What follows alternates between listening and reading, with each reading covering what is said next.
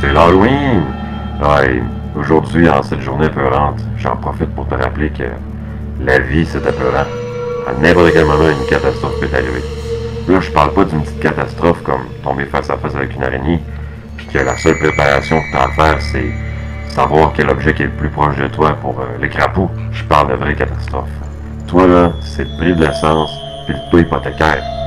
Toi, ton, ton monstre, c'est un gars assis dans son bureau avec un calepin puis un crayon ensanglanté qui attend juste le bon moment pour te passer la guillotine puis envoyer ton corps inanimé à la maison avec un 4% de staplé sur le chest. Tout ton fantôme dans le placard, c'est ton chum avec ta blonde qui du jour au lendemain décide de sauver puis qui te laisse avec ton hypothèque puis le compte tu dois payer. Ton squelette dans le placard, euh, c'est ton tibia qui se casse pendant une ride de snowboard plusieurs mois sans travailler. T'as plus d'argent, tu fais quoi? Tic-toc, tic-toc. L'horloge va bientôt frapper minuit. Quand l'aiguille va tomber sur le 12, sur le 24, la banque va t'écraser, toutes tes factures vont t'étrangler.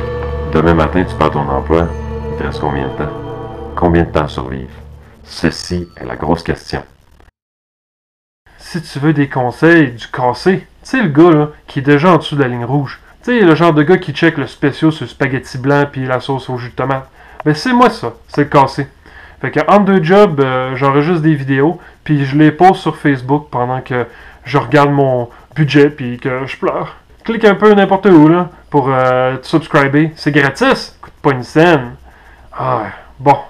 Prochaine vidéo, comment reconnaître les signes qu'on n'est pas prêt? Euh. Ouais, fait que c'est ça. Ok, bye.